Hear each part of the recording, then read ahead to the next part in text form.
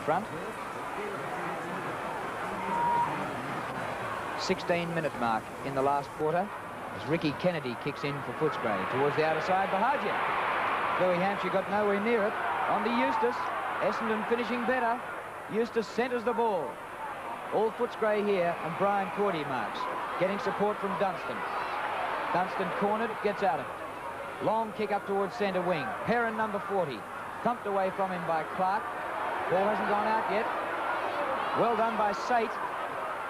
Short pass to half forward, Neil Cordy. And a good spoil by Neale Daniher. The ball out of play. Absolutely brilliant by Neale Daniher that time.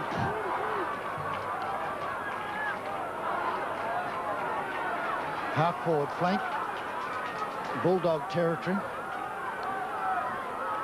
Madden against Cordy. Oh, cut it out on Honestly. Neil Cordy takes a free kick. But I'd be surprised if he wasn't surprised and then to rub Salt into uh, the injury, he gets a 15-metre penalty and shoots for goal and kicks it one behind.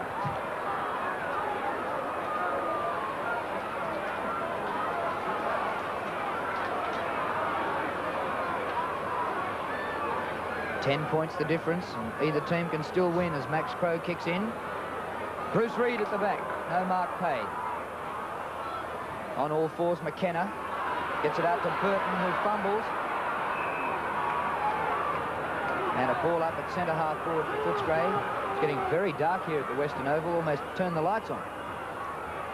Umpire die.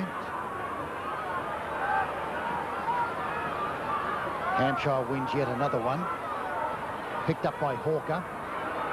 Terry Daniher, big leap, taken by Bruce Reid. Uh, John Reid, downfield it goes. Berry and Crow scuffle and fight. A great pickup by Neil Cordy and a spectacular tackle by Daniher. And what a great player is Neale Daniher. It's forced out of bounds. Yes, Neale Daniher started at centre half forward, now at centre half back. Lots of positional changes in Essendon's camp. And he's happy to let that go out of bounds again. We had Terry Daniher starting at full forward. Now it's centre half forward. Andrews has played full back and full forward. Comes to the back of the pack. Dunstan tackled by Daniher, picked up by Neagle. He took a long time to get rid of it and one-handed the ball away, ruled the umpire. It's a free kick to Dunstan, right in front and well within kicking distance with 10 points the difference. Ian Dunstan coming up for kick number 17.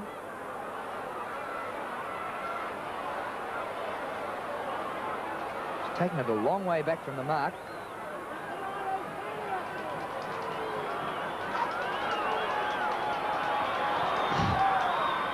And he's goal.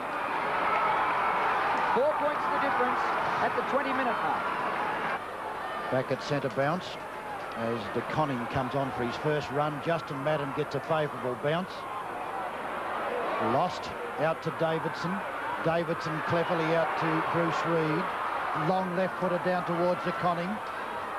Gary Foulds is with him. And it's out of bounds. There's only four points of difference with Essendon in front and Footscray have it on their half-forward front.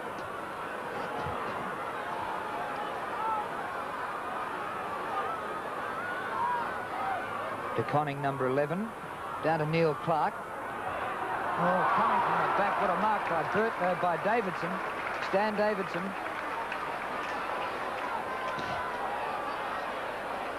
Very congested forward line here for Footscray. There's only about two players in the other half of the ground. Comes to the back. Jeff Berry goes and puts Footscray in front. Footscray, Bill Berry at full forward kicked four goals. That was the most pleasing part of the game, that we were in a position two or three times in the last quarter where we could have stitched it up. Uh, Essendon were in a position where they could have won it, yet uh, we fought it out well. And it's not just this week. There's been three or four other games this year. Maybe if we'd have had the icing on the cake, we would have won them too. Our desperation has been terrific. And you went in today. Obviously, you haven't had Kelvin Templeton all year, but without Jeff Jennings, and you've produced uh, a couple, Sate from Yarraville in the VFA. Yes, he's turned out to be a very good player. Uh, uh, the best part about his performance is he kicked goals when we needed them. And we haven't had a player around here for a long time that's been able to do that. And Bill Berry kicked ball? Yes, yes. Um, we, as I said, um, we haven't had key forwards uh, over the past season, but uh, Bill's one of our most constructive ruckmen. He's, he's done a good job as a makeshift full forward. And Bluey Hampshire's performance was great, considering he gave, gave away so much height to Justin Madden. Well, Bluey does that week in, week out. It doesn't matter how big they are, how big a reputation they've, they've got, or how good they are. Bluey just turns in his usual honest performance, and, and normally he gives them a real run for his money, if not beating them. And I think special mention must be made to Ian Dunstan. I thought he played a fabulous game. Yeah. And Doug Hawkins, certainly in the early stages of the game. Well, the first quarter was the best that I've um, seen him play since I've been here. I know when I first got to the club, everyone said what a great player Doug Hawkins could be. And uh, even up until now, Doug Hawkins still could be a great player, but he can't put consistently four quarters together. But I suppose that's a matter of time, and if he just keeps playing, he'll learn to do it. Royce, are you going to be a better team now that you have a win behind you? Oh, there's no doubt about that because we went 12 last year without uh, winning a game and then we strung, I think, five together. Uh, it'll lift the morale around the place and the players will gain confidence in what we're trying to do. And, uh, you know, they'll know that the things that we're saying can actually win you games. Did you start to doubt whether the things you were saying were going to come true? No, I got in front of the players a couple of times and, uh, in fact, I did before the game today and said that I must be the only person here that thinks you can win because, uh, you know, I've seen them through the pre-season, I've seen them on the track and I've seen them in games and I know they have enough ability to do better than what they have done and I haven't doubted that um, what we were doing was right, but I was just doubting the confidence of the players and a win's going to make the world of difference to them. Good on you, Royce Hart, and well done, Footscray. Kennedy will kick out. Towards the outer side of the ground, Justin Madden's there. Oh, what a great mark by Hawkins.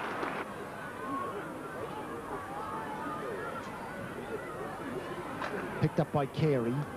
Hampshire's got the run of it, never looked like it. Picked up by Terry Daniher. Can really go for a long while if he wants to. He'll give it across now to Thompson. He should have, but he didn't. Out wide it goes to Fowler, to Foreman. On to Thompson. Thompson on a very acute angle will shoot for goal. Very acute. Short pass to Andrews is great football. Madden, oh, dangerous hand pass to Carey. Carey did it very nicely. Boots it down towards where Bruce Reid goes up and a brilliant mark taken there. Cordy thumps it out towards the wing. Bahagia again. Short passes to Hawker. Hawker an awkward bounce. Davidson gets it. Hits it cleverly to Wheeler. Out to Dunstan. Dunstan down to the half-forward line and safe leads in the race for the ball. A good bounce for him. Folds his opponent.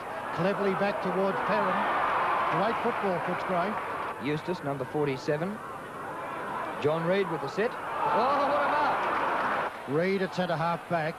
Plays on when he shouldn't have played on and kicks it straight to McKenna. Off to Wheeler. Wheeler then down to that full forward zone. Crow and Berry again. Out wide to Jeff Berry. Hand passes to Witten. Witten on the half-forward line. Across it goes to Dunstan. His kick is smothered. Picked up by Jeff Berry. A left foot snap for goal. And it's a beauty. It's Michael Thompson. Dodges. Caught. Back it goes and it's picked up there. And there's a long kick from Burton. Max Crow and Berry go. Here comes Sates. Sates got the opportunity. Berry shoots for goal. And that's done it. Wow. Top batters, Wiley.